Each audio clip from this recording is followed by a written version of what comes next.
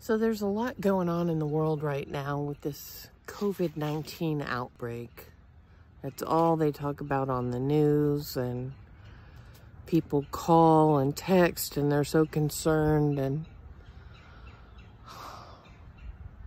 I'm just kind of sick of hearing about it. Um, but what I got to realizing this morning is without people going to work,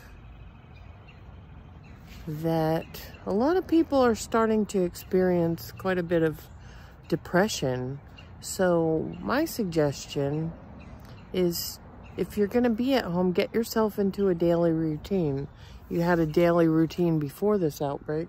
Uh, and um, why shouldn't you now? You should have peace about your everyday life, whether you're living it as you usually do or you're living it in this stay safe, stay home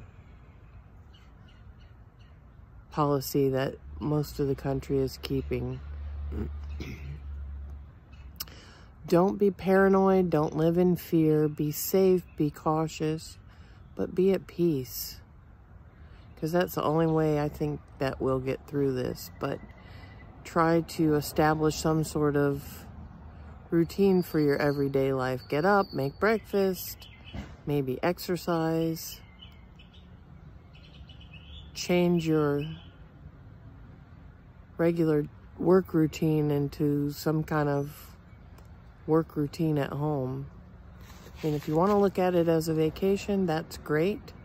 But I think for your sanity, develop some sort of daily routine. This is Lisa, your stylist, with a Peace of Me moment. Have a peaceful day.